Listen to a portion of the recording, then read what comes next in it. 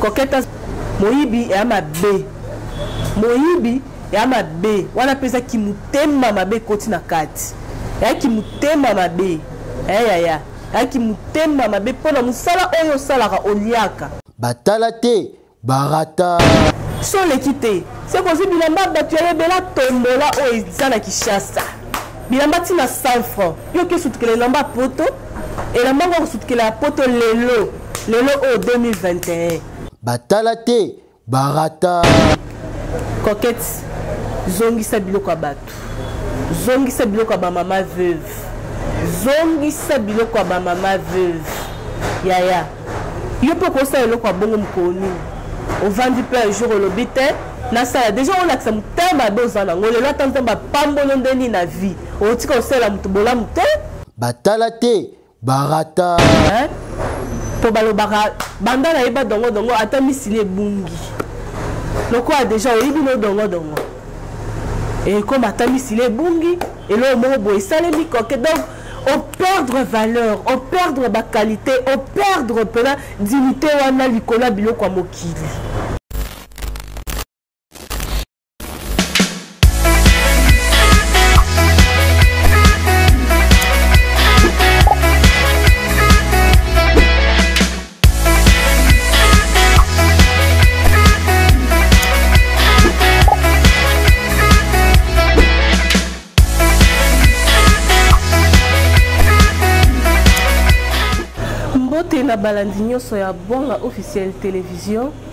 balandi nyonso ya bongo officiel télévision partout dans le monde na monde atie bana poto bamama poto bapapa poto babon tonton hein? basi oyo oh, bazalaka na motema malamu ya ko donc euh, bazalaka toujours là attentive mpo na koyoka nde navandi awa donc naye pamba te eh, naye observation te naye vraiment mpo tosolola makambo tosolola vraiment makambo moko esala pasi na mitema bato kwa epesi vraiment pasi mingi eza mpe soni mpo na biso bacongolais donc tolingani te tolingani te à vrai dire vraiment tolingani te likambo yango ezosala pasi eza nini nayebi ke bomituna mituna ebele ebele ebele ebele ebele ebele mais eza nango grave te tomeka nao kosolola eh, bino mpe esika bolanda biso bomeka kopesa baavi na bino mituna na bino botikela biso na nimero oyo tokotya na se ya ecran na biso eloko ya mpasi eza nini eloko ya mpasi eza ya likambo oyo ya bakarton oyo eutaki poto oyo ekomaki na maboko ya ndeko na biso coquete oyo bino nyonso tu boyebi aza actrice asala ya théâtre mpo na bamama veuve coquete yaya mpo ani okoza motala mabe bongo tosolola yango nanu biloko yango ezalaki ya yo te naa na mpasi mingi en tant que mwasi mpo nga mwa mpe nde naa boye na orpheline donc nayebi mpasi baveuve bamonaka yango navandi mpena liboso ya kamera oyo tosolola yango vraiment totya nao le point sur les i mpo ani kozala motema mabe ti na niveau wana biloko yango ezalaki ya yo eh? yo osala théâtre oza nao jeune fille ya yo okufela mobali mpo ani kondima donc ondimi nokomemaka malediction ya bato moko boye hein ondimi na pena tala ka yo sa ba jela ba ma veve osa ba jela ba ma ba chelo pena tolo na bango na se ba lelelo soki oza heureuse na vie no soki yo omona bolamu na vie nao ya so moyen eza lukozongisa biloko ya bato soki osi olataki osalelaki yaya kende koluka kende vraiment koluka meka na koluka bango ya liboso nanu omikitisa bamama poto bolimbisa biso a bolimbisa mpe ye de mapanga na osenga na bolimbisi mpo na ye bolimbisa ye mais koketi ngai nazongi kaka epa na yo yaya mpo nini kozala motema mabe bongo obotama na nani obotama na nani so ya solo mpena obotama na mwasi okozala na motema makasi oyo oza nango te na kati ya bamama veve wana ba mama ba bato baza na age ya mama no baa na kati neti mwasi ya sans souci le reste bana esika bazwaka te bato wana ya libanda nde bakoma kosunga bango badiaspora na biso bakoma kosunga bango mwa elamba mwa enveloppe mwa nini me yo sikoyo ozwi donc émission ngo banda osala osalaka émission ya baveuve na intérêt moko boye na kati batindela ko biloko ya bato donc oluka vi na yo na kati ya émission wana to osala mpo na osunga bango wana ya lisungi te boni kobebisa mosala ya internet makasi boye ya kobebisa mosala ya kobebisela mpe baninga mosusu mosala mpo baoyo baoya nsima to mosusu moninga mosusu aye na sujet moko ya bongo baolanda ye te baozape mpo deja nayebi kende moninga na bango moko ya bango bazalaka bongo okoki kotya biso na kashe na yo pourkui yaya hein tozomona deja bilamba ngo ozolata ngo okela ngo batournage bilamba ngo donc motoki ya mutu eloko mosusu ezala ya sacrifice oke okela ngo basale babluze yango babluze kitoko basako omema basako wana omema wana koketi oza incapable ya kosomba saka 30 dollar 50 dollar donc kasaka bato mpo olingi kozala motema monene bongo boso batiela ye bango poison boso batiaki eloko moko ya mabe keno so balati yango eboma bango nyonso ngo te kose sacrifie yo moko ose sacrifie yo moko yaya tala nsima nanu tala nsima tala na place outi outa pa mwasi kolinga te batie lotolo na se kolinga te balela na nkombo na yo oza nao na carrière molai yaya wana na carrière molai makasi zala motala malamu meka au revoir biloko wana eza ya yo te et puis chose grave okokaki kokabela okokaki kokabela ata bamembre ya famille na yo ata bacamarade na yo mais yo osigne na yo mpo oyebi ke no théâtre na biso etalama na monde entier eh? lelo ka ngai angelica nde nafandi boye mutu moko boya libanda atineli ngai eloko ya mutu kende ozwa eloko ke epesa kingani boye ke epesa groupe boye ke epesa bato kingani na motema mabe oyo olati nazwi biloko wana so eza ya kolata nazwi nalati so eza ya kolia nazwi nalie so mbongo mpe nazwi na consomme eh, loba nazala koka sikoyo mosala osalela yango nini pardon yaya coquette toza na bapreuve toyoki deja bavoice tomonaki mpena na baémission bayambi bamama veuve wana ndenge bazalaki batindela bazalaki 8 personnes batindaki carton na bango donc biloko na bango mobimba bamama wana bazalaki mama wana atindela bango biloko wana azalaki na motema malamu azalaki touche par rapport ya émission moko otaki kosalela ba mama veuve wana azui atindi biloko na ye na minute oyo nde eza boye ko esi baleki balobaki deja keno bazwi eloko ata moko te ya mama wana mpo na bolingo ya nzambe vraiment pardon soki moya eza oleka omeka na kose justifie bango baleki balobi biso mpe tozelo oleka oloba toko mpe tozelo oleka so oleki te se kozwi yango so oleki te seke ozwi bilamba bato ya yebela tombola oyo eza na kishasa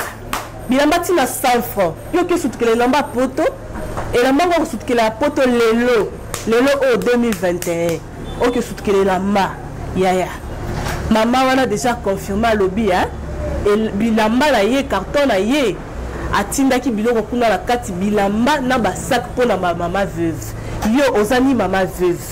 ozali veve oyebi kutu ata mpasi ya mobali te me ozwi biloko ya bato wana ondimi olata okoma oleka nango mpe na batournage chose grave c'est pas possible c'est pas normal soyons quand même raisonnable ma chérie hein? soyons raisonnable ntina niveau wana te tozela oyo mpo oleka na média O defendre ba propos wana biloko yango oyo ba oyo mama oyo balobi keno bazomona yo nango ozosala nango ba tournage banini ta mosu ekozala mpe eza ya yo mais tellement ye mpe atiaki biloko ya bongo na kati ya carton c'est pourquoi elle est en train d'affirmer tozozela yo oleka odefendre propos wana soki ke olataki yango déjà soki oleki te meka koswanela bamama wana de père ke balela na nkombo na yo te mpo biso nao toza nao na mposa na yo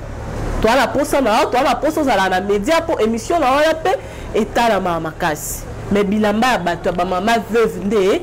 zongisa biloko na bango zongisa basake na bango zongisa luka mpena omikitisa ntanke mwana na makolo na bango oke ozongisa biloko na bango yaya zongisa biloko na bango zongisa yango yaya avant mabe ya avant eloko moko ekomela o mpo tomona bato mosusu bakufaka ata mpo na sans fin oyebi te na intention nini mama natinda ye biloko wana kolinga te oteka vie na yo likolo ya biloko ya mokili ça ne vaut rien la peine ya kozwa biloko ya bato oyo eza ya yo te ntango mosusu batiaki kaka na nkombo na yo Vu que yo salaka ba emission, ba yebi que non soki ekomi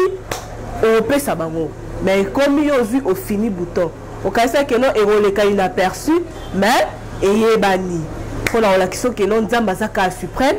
a dévoiler donc on dit maki peut-être que là ekoko mati na ba niveau haut. ya koleka koto na media coquette oleka boye coquette oleka boye coquette oleka boye coquette eya bien te bato ya bakombo yango na ndenge ya bien ke na ndenge ya kimoyibi moyibi eya mabe moyibi eya mabe wana mpe eza kimotema mabe ekoti na kati eya kimotema mabe eyaya eya kimotema mabe mpo na mosala oyo osalaka oliaka olata mpe deja bien toyebi olata deja bien eloko ya moto donc ekotutisa e, e, motema te donc motema donc echauffe peli yo yaya nao ozwa karton ya poto te na batindela yo te yaya zongisa zongisa biloko ya bamama bato bamama veuve yaya zongisa zongisa vraiment wana vraiment à cœur ouvert hein? zongisa biloko ya bato soit leka o defendre bapropos oyo mpona kokitisa bango mpe mitema mpo baolela na nkombo na yo baoregrete baotanga nkombo na ndenge ya mabe moto wana mpe oyo atinda ye biloko wana mama wana hein po ezalaki bilo azalaki déjà na baboule moko boye awa sa boutique ne d'habillement awa donc c'est comme si lokola ye mpe aza veuve alingaki neti ayebana déjà na cadre moko boye bamama wana bapambola ye talaka veuve soki apamboli yo lipamboli ne mpena emataka ekenda ya mosika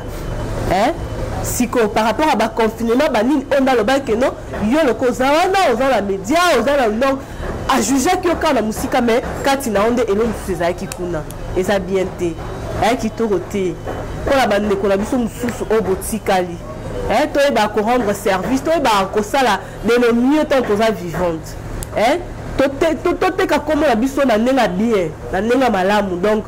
na ndenge oyo esengela mpe mpona koteka yango fo kosala donc fo kosala mosala malamu kopesa batémoignage ya bien totika kobebisa totika komibebisela biso moko wana mpena eza lokola osumbi na nganda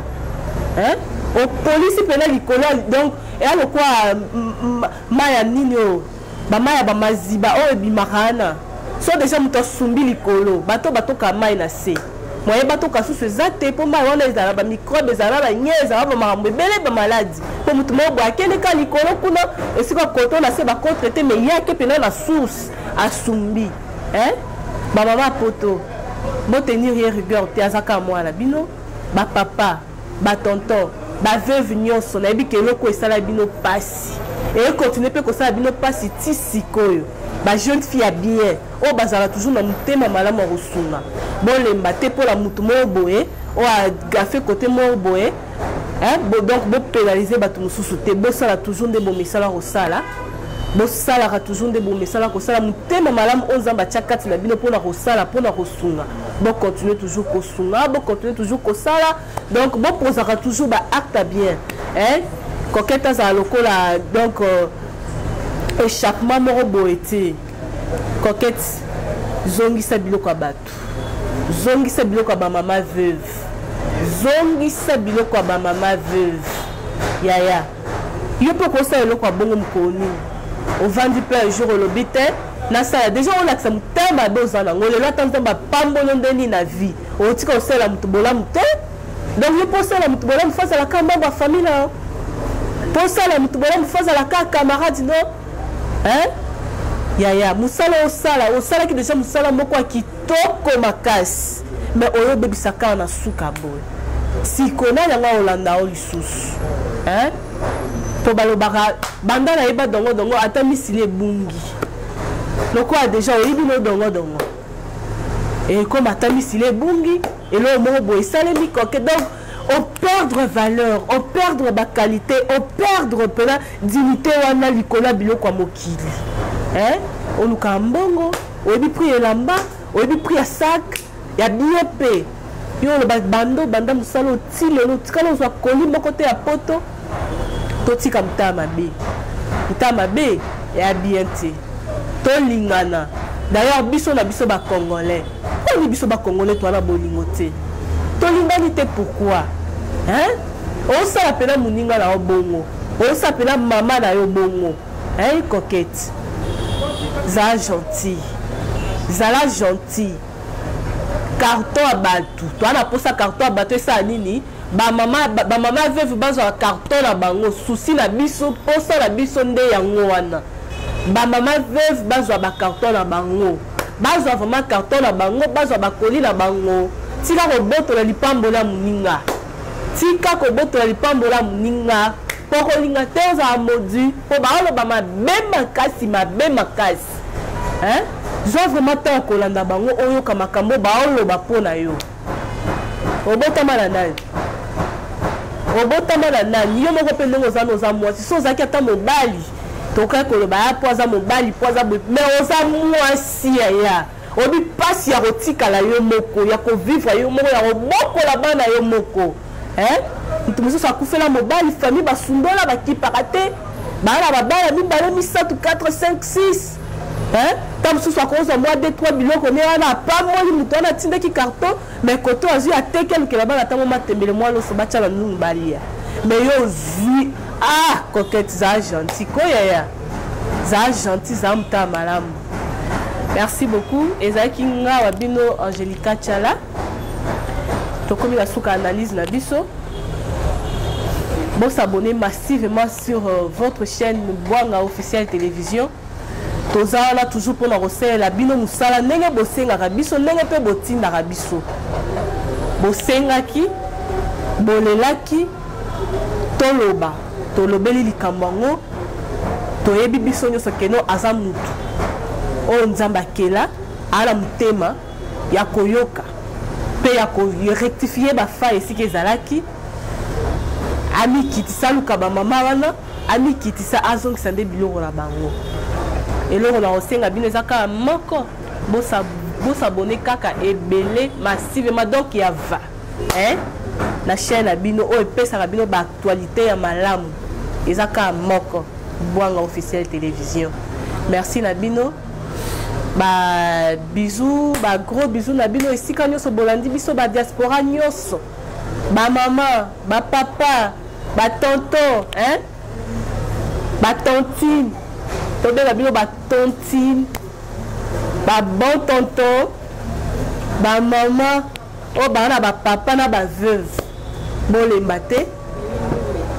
mimi ndumbe ya bamimi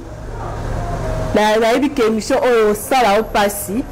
ma ya mosala na biso esengaka tolobela yango papi icheli le potentiel de montréal donc partenaire ya makasi ya bongo officiel télévision motema ya debora bwanga eh? basalitation na yo ya boye esika oza Daddy Ndembo depuis Paris. Ba salutation na yo, ba gros bisous na yo. Tokutela bino mikolo mokoya. Bonne suite des programmes sur Boanga officiel télévision. Bisous, bye. Merci.